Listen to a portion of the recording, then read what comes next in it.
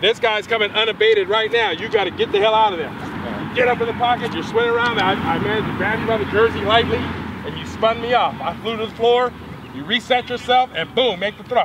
You feel me? Boom, get up get up there. That's it.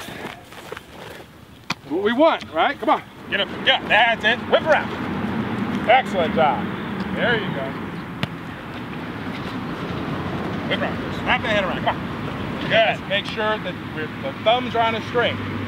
Comes off, rip through. Right? Survey, survey. Good. Get it out. Get some depth though now. Right? When you're not centered and your upper body weight's on your front leg, what happens? Now you got slippery surface. There's nothing to hold me down.